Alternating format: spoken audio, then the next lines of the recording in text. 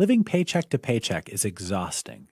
The money never seems to be there, or if it is, it's never quite enough. You know there has to be a better way because you can see it.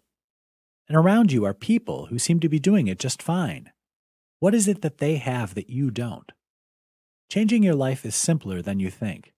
By changing your habits, you'll discover the difference between there never being enough money and that of enjoying wealth. What do the wealthy do differently? 1. They seize the moment.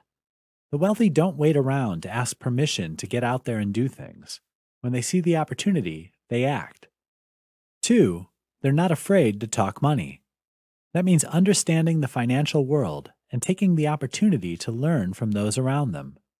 Talking about money isn't taboo to them. 3. They ask for help. When a wealthy person comes up against a problem, they actively seek out a solution. They don't give up. By asking people who they trust for advice and input, they're more likely to find a solution than those who muddle through the best they know how. 4. They understand the financial world.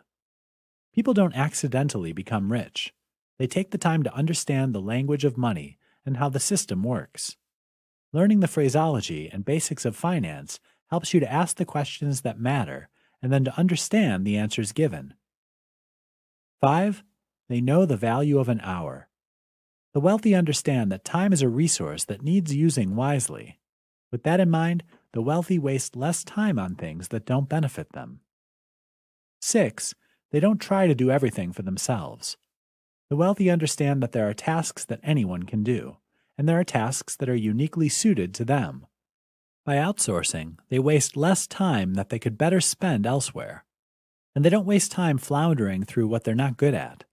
They recognize it's better to hire someone who knows what they're doing so they can focus on their strengths. 7. They're in it for the long haul.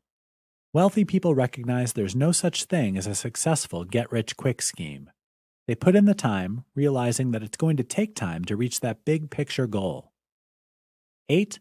They take time to re energize. Taking the time to rest and recharge is an important characteristic of the wealthy so that they don't run themselves into the ground. You can't be successful on any level if you don't have good health. Changing your attitudes and your approach is all it takes to gain that wealth mindset. You really can change your world just by first changing your habits.